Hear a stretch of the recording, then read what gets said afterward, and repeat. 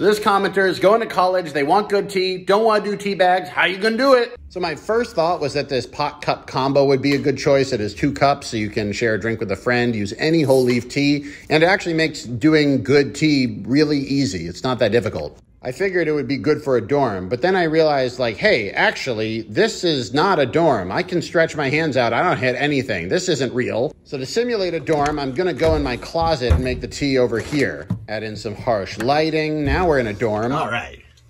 My table is made out of a monitor box, real authentic. Fill up the tea. Ah. So I thought I nailed it, but then I realized if it were a real dorm, you'd have your roommate blasting music. So I called over my neighbor. Hector. Huh? This is the roommate test.